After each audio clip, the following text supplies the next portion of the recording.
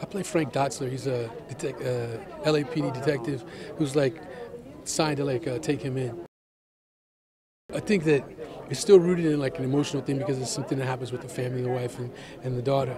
But it takes an exciting ride. It takes you on an exciting ride. And this time, as opposed to him being hunting people down, he is hunting people down. I'm hunting him as well.